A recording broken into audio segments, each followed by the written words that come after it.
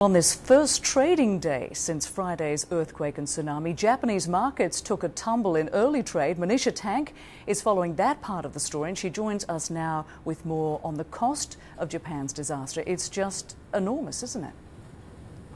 Yes, that's uh, definitely what we're hearing, Rosemary. And the Japanese stock market in particular will be a gauge for us as to how investors view the government and the central bank's economic efforts in the aftermath of this quake. Uh, we can actually look at the numbers, and you mentioned that there's been a strong sell off at the outset. That's very much what we expected. Uh, the Nikkei down almost 6% now, extending the losses as the morning goes on. Insurance companies, of course, have been especially hard hit.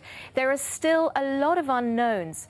However, we do have this nuclear crisis that's unfolding, which could really spook investors depending on the outcome. We'll be watching it very closely. Now, the Bank of Japan took the unprecedented move of pumping 12 trillion yen. That is about 146 billion US dollars into the market in one go. Now, pumping this kind of cash has uh, into the market has a number of effects. It means money will be readily available to facilitate purchases and transactions. The perhaps greater short-term impact is to bolster confidence in the stock market and stem any huge losses. Psychologically, that's really important right now.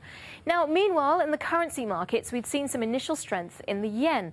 Talk is that firms looking to repatriate funds in preparation for the rebuilding effort have been selling US dollars and other currencies and buying yen. However, the Japanese currency has pulled off of those earlier highs highs. And some of that may be to do with the fact that we've seen this strong cash injection by the Bank of Japan. They're clearly taking measures to stabilize the currency at is what, uh, in what is a very volatile period for these markets. This is an export led economy we're talking about. Some of the country's biggest exporters, familiar names like Toyota and Nissan, currently have some 20 factories or so out of action in the affected areas. So it is important that firms get access to the cash that they need to resurrect their operations quickly and efficiently.